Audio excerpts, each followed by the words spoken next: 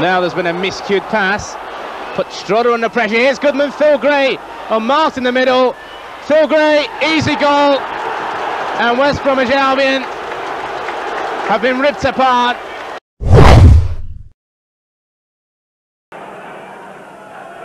Was it ball to arm or arm to ball? It's gone in, it's a goal!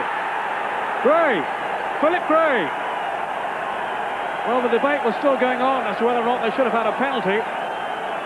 No question about that one. Gray has scored Sunderland's second.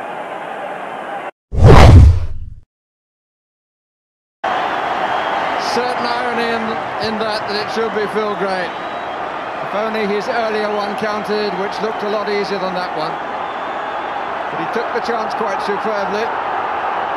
Snuffed a commentator in passing.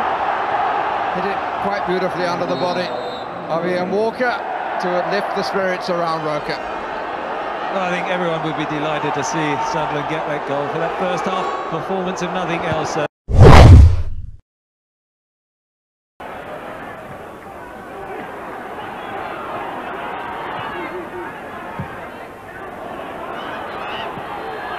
Down there for Gray.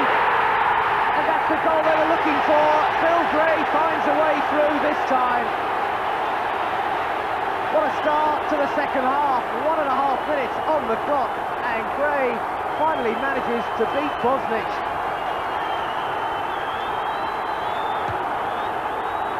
It was the combination again. Gray wasted no time and Bosnich was left flat-footed almost knocked in by Bennett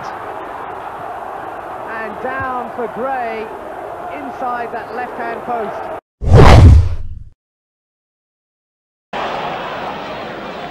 Smith out wide, looking to test Lavin. Scott firing that one in and Gray's there! 3-0!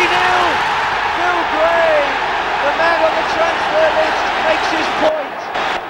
Another excellent goal for Sunderland and the Roker men hit three in the First Division for the first time this season, and it's against the league leaders. Gray got in there on the end of the cross. In corner, Phil Gray produced a moment of class to put the result beyond doubt.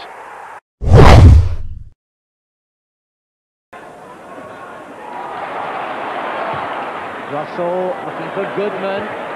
Gray at full speed. Gray superb goal, Phil Gray.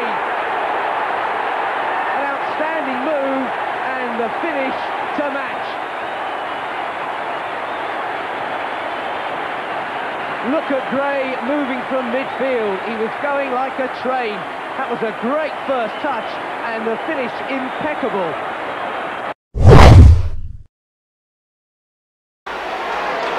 Well played. Martin Gray. On Phil Gray gets the better of Lou. Well, that's a lovely chip, and that is a classy goal.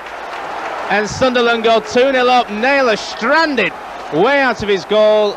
Lilwall made the error, and Phil Gray chipped home a quite tremendous goal. Came back strongly and six minutes after the interval they drew level. A superbly taken goal from Phil Gray running at the defence before firing in his second goal in as many games.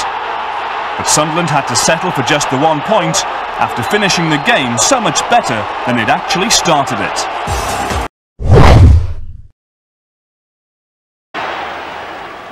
Now Phil Gray's got right away from the defence. He's in space. The keeper's off his line. Beautiful exploitation from Phil